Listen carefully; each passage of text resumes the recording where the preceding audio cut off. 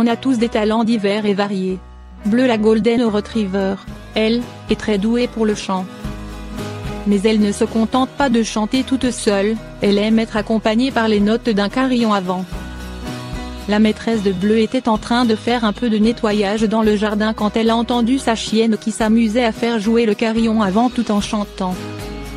Ça, c'était il y a plus de trois ans, quand Bleu n'était qu'un petit chiot. Depuis, chaque jour, la chienne va dans le jardin et profite de 5 minutes de musique avant de vaquer à ses autres occupations. La maman de la maîtresse du bleu a même offert un second carillon à la famille, mais Bleu n'est pas du tout intéressée par ce modèle plus luxueux. Elle veut seulement le même instrument de musique qu'elle a depuis qu'elle est petite. Et pourquoi pas, puisque c'est un duo gagnant qui a amusé près de 20 millions de personnes sur Internet. Peut-on prévoir une allergie au chat avant d'adopter?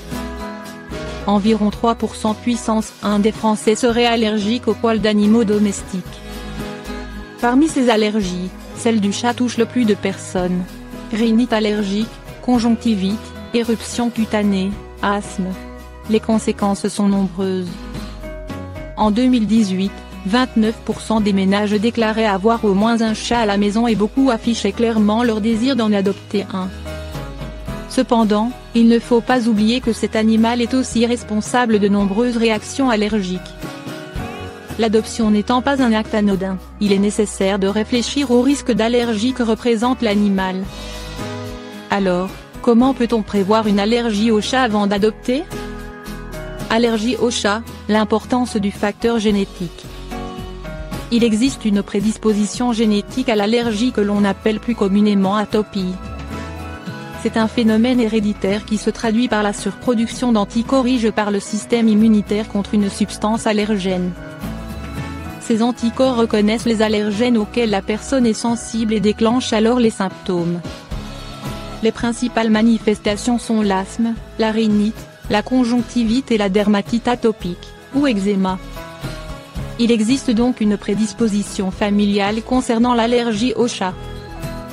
Un enfant ayant deux parents qui souffrent d'allergies respiratoires ou cutanées, notamment celle au chat, a 60% de risque de développer lui-même cette allergie, contre 30% s'il ne s'agit que l'un des deux parents et 15% dans le cas où aucun des parents n'est concerné.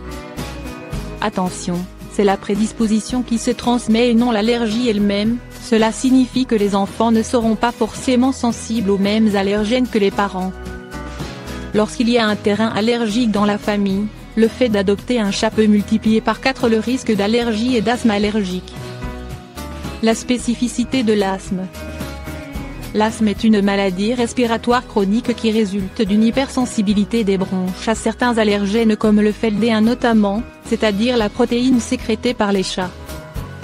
En cas d'asthme, il est souvent déconseillé d'avoir des contacts avec un chat. En effet, de simples réactions allergiques pourraient être à l'origine de crises d'asthme importantes. Par exemple, une rhinite allergique pourrait provoquer des troubles respiratoires plus fréquents et plus sévères. De plus, les personnes asthmatiques qui possèdent un chat risquent de se sensibiliser progressivement au contact de l'animal et de devenir ainsi allergiques. Passer du temps auprès d'un chat.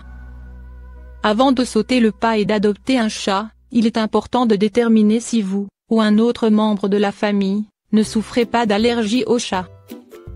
Pour cela, vous pouvez très bien vous rendre chez un proche qui en possède un, ou garder un chat pendant l'absence d'un propriétaire en vous proposant comme famille d'accueil. Cela vous permettra à vous et votre famille de vivre une véritable immersion, et d'être en contact permanent avec l'animal. Si une des personnes est allergique, les manifestations devraient rapidement se faire sentir mieux vaut tout de même réaliser cette expérience chez un proche, propriétaire d'un chat. En effet, en gardant l'animal chez vous, vous risquez de conserver l'allergène émis par l'animal pendant quelque temps après son départ. Vous pouvez également demander à passer du temps avec le chat que vous souhaitez adopter, tout simplement. Attention, vous pouvez très bien avoir vécu de nombreuses années auprès d'un chat sans jamais n'avoir été allergique, et le devenir. En effet, le contact permanent avec un chat permettait à votre système immunitaire de reconnaître les substances et de se désensibiliser. Allergie au chat, la prévoir grâce au test de sensibilisation. Les tests cutanés, prick test ou test intradermoréaction, sont très utiles. Ils se réalisent chez un allergologue et consistent à injecter dans la peau de la personne de petites quantités d'allergènes reproduisant les manifestations cutanées de l'allergie. Cette injection est pratiquée sur le bras ou dans le dos et entraîne chez le patient une réaction en 15 à 20 minutes. En cas d'allergie, un gonflement, une rougeur ou une papule ressemblant à une piqûre d'ortie apparaissent. La lecture du test se réalise après 15 minutes et consiste à mesurer le diamètre de la réaction. Ce test peut également être complété par une analyse de sang.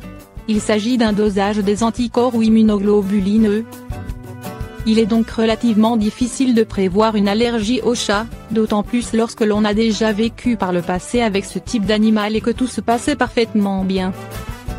Cependant, en cas de prédisposition familiale, de sujets déjà fragilisés par l'asthme, le risque de développer une allergie est bien présent. Si cela est possible, n'hésitez pas à passer du temps avec le chat que vous envisagez d'adopter, chez l'éleveur par exemple. C'est en effet un acte important pour vous et l'animal, qui va vous engager pour de belles et longues années de cohabitation.